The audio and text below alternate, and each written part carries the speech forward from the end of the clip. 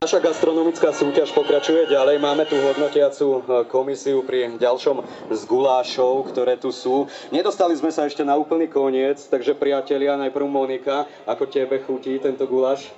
Veľmi dobrý. Že je favoritom? Uvidíme.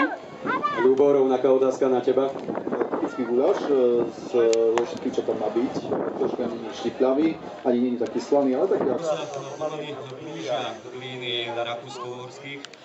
Vojsk, tých zatiaľ nezbadali, tak uvidíme, aký bude ďalší vývoj.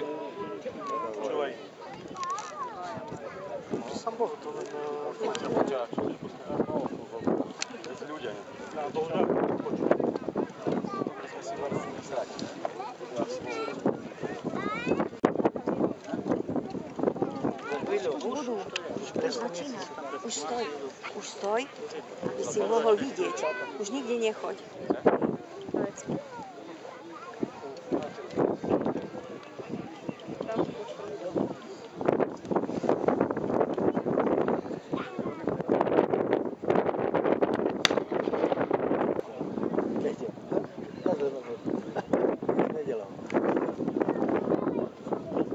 No a teraz môžeme sledovať situáciu, že rakúsko-horská armáda už eh, si začína uvedomovať, že sa niečo deje, počuje a videli sme samozrejme aj uh, výstrel. Ale ešte než ešte pokračovať, tak uh, pri mikrofóne privítame ďalšieho z členov vojenskej histórie aké boli historické okolnosti?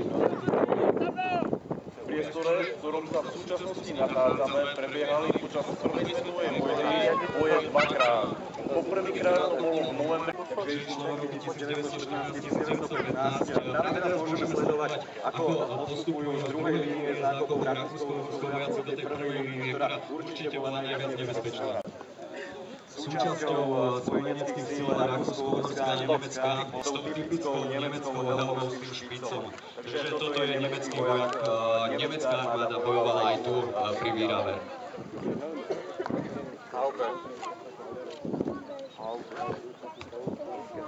Dôstojníci teraz eh, pozorujú alebo rekonstruujú terén, čo bola tiež veľmi dôležitá činnosť pred samotným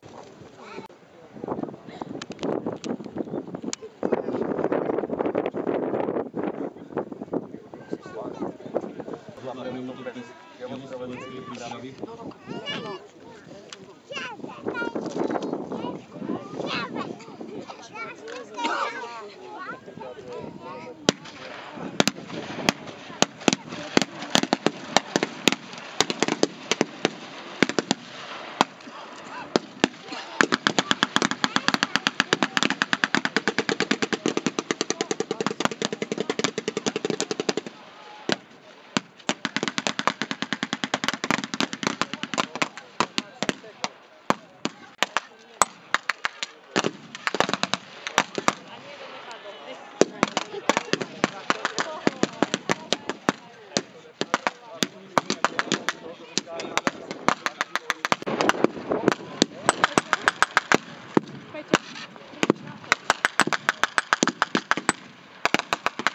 A